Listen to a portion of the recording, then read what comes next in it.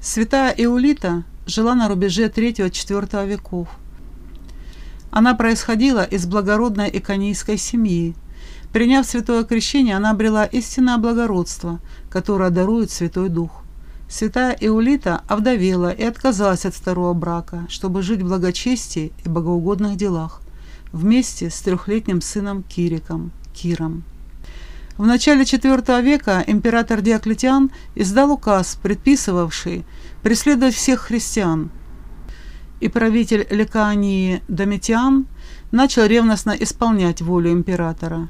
Святая Иулита укрылась от гонений в Селевкии, предпочтя отказаться от всех своих богатств и нести тяготы изгнания, нежели отречься от Христа. Но в этом городе царило еще большее смятение – Посланец императора Александр наводил ужас на население, подвергая пыткам и беспощадно предавая смерти всех, кто не подчинялся указу.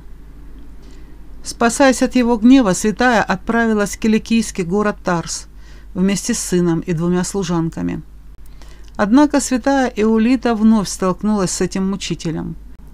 Он опередил ее и здесь продолжал расправу над христианами – когда Александру донесли, что в городе находится знатная беженка, он приказал задержать ее и привести к себе на суд вместе с ребенком. Служанки сумели ускользнуть и издали следили за происходящим.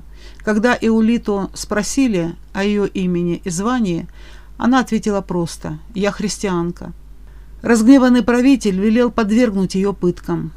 Палачи связали святую Иулиту и стали бичевать бычьими жилами – Плачущего младенца в это время, оторвав от матери, принесли Александру. Он взял его на руки, посадил на колени, погладил по голове и попытался поцеловать, говоря приятным голосом. «Оставь эту ведьму и иди ко мне, твоему отцу. Я тебя сделаю своим сыном и наследником всех моих богатств, и у тебя будет сладкая, беззаботная жизнь». С виду слабый ребенок в действительности обнаружил мудрость старца – Кирик посмотрел на мать, претерпевавшую мучения, и дал отпор тирану, царапая его и ударяя кулачками. Он вскричал «Я тоже христианин!» и ударил правителя ногой в бок так, что тот застонал от боли. Тогда притворная доброта обернулась яростью. Александр схватил ребенка за ногу и со всей силы ударил о ступени каменной лестницы, которая вела к его трону, разбив Кирику голову. Святой младенец тотчас предал Богу душу, освящая землю своей кровью и унося на небеса венец мужественных подвижников благочестия. Тогда Иулита исполнилась божественной радости и возблагодарила Господа за то, что Он таким образом отверз ее сыну врата вечной славы. Вновь приведенная к разъяренному правителю, она заявила, что никакие мучения не смогут победить ее любовь к Богу, и что, напротив, страдания позволят ей поскорее присоединиться к дорогому сыну. Тогда Александр приказал вздернуть святую Иулиту на дыбу и терзать ее тело железными крючьями, а затем лить на мученицу кипящую смолу. Несмотря на боль, мученица продолжала исповедовать веру в Святую Троицу и добавила – я спешу присоединиться к Сыну, чтобы вместе с Ним наслаждаться блаженством Царства Небесного.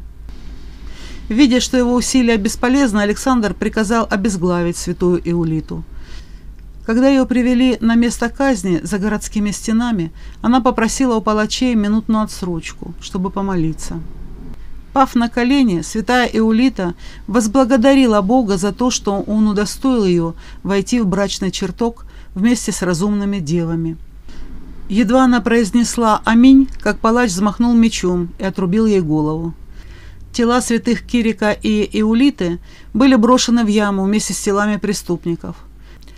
На следующую ночь две служанки пришли забрать святые мощи, которые затем погребли в пещере неподалеку от города.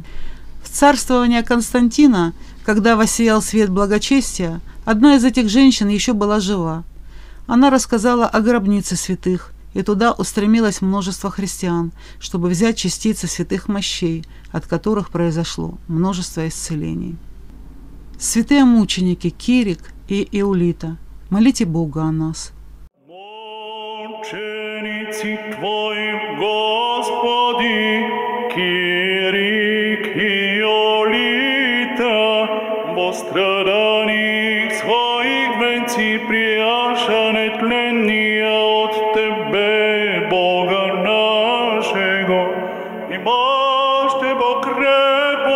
крепост Твоя, мучителей не зложиша, сокрошиша и демонов немощния дерзости, Те молитвами спаси.